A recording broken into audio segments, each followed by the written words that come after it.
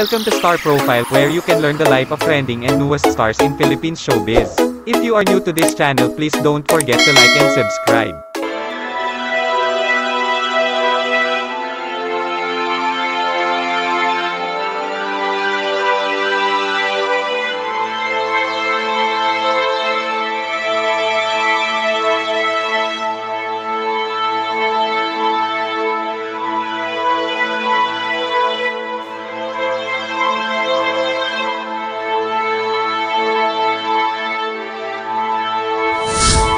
Kilalanin natin ang hot mama ng Viva Max na si Jamila Obispo.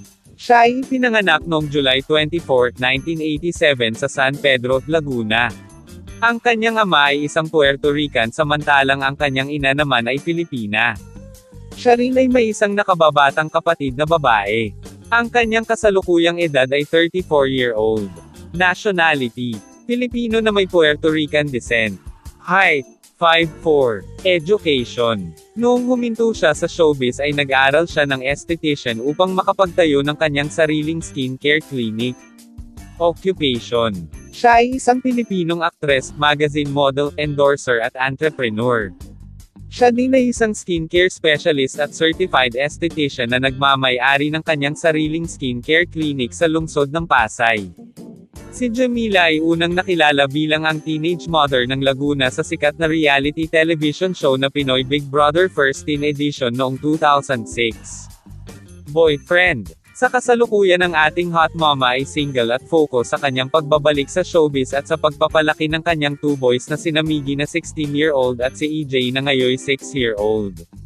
Matatanda ang naging karelasyon niya noon at ang ama ng kanyang bunsong anak, ang dating Pinoy Fear Factor winner na si Jomy Teotico.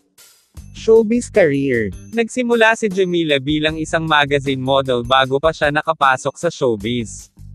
Naging featured model muna siya ng pinakasikat na men's magazine sa bansa na FHM noong 2005 bago pa ang kanyang May 2007 cover at pagiging housemate ni Kuya.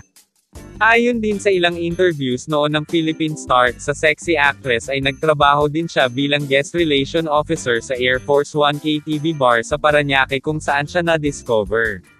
Una siyang napanood sa first teen edition ng sikat na reality television show na Pinoy Big Brother sa ABS-CBN, kasabayan ni Kim Chu at Gerald Anderson noong 2006. Kahit hindi man siya pinalad na manalo sa nasabing reality show ay ito naman ang nagbukas ng daan upang makilala siya sa mundo ng showbiz.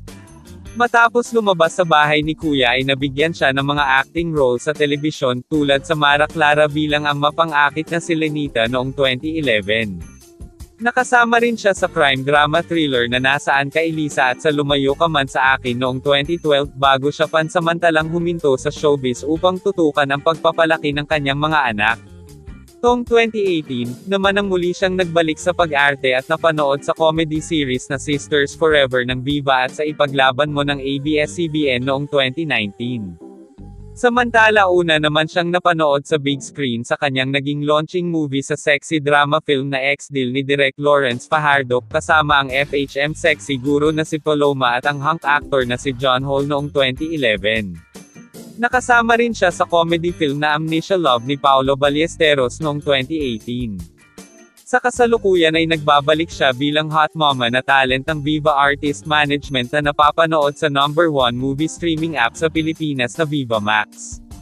Makailang beses na rin siyang lumabas sa iba't ibang sexy films nito at nakipagsabayan sa kaseksihan ng mga Viva talents, gaya sa Mahjong Nights ni Angelicang at sa Kensenes katapusan ni Ayane Misola. Nakasama rin siya sa first part ng L series kasama sina Vince Rilon at Stephanie Raz at sa ngayong nangungunang sexy action thriller series na Iskandalo, kasama naman ang mga Viva Goddesses na sina AJ Raval, Cindy Miranda at Ayane Misola. Ang mga sumusunod ay ilan lamang sa kanyang mga ginampanan sa telebisyon at pelikula.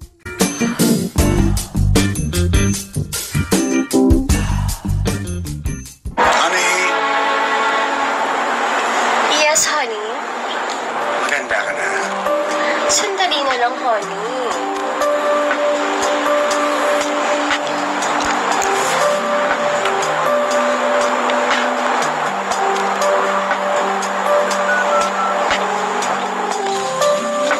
Hello, Gary. Magpapaparty si Lover boy.